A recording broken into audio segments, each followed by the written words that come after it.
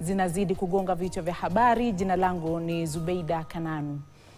Watu wanane wamepata majeraha katika ajali ya barabarani eneo la Loturo karibu na Sukuta Marmar, kaunti ya Samburu, walipokuwa wakisafiri kuelekea michezo ya kasa huko Bungoma, gari la kaunti hiyo lilipopata matatizo ya kiufundi.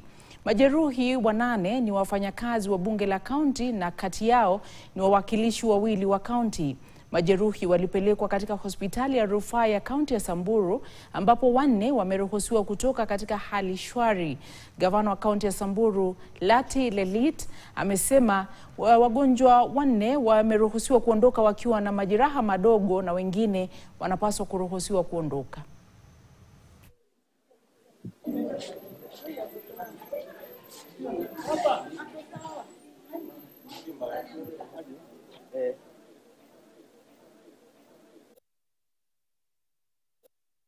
Naam, tunawatakia afueni ya haraka.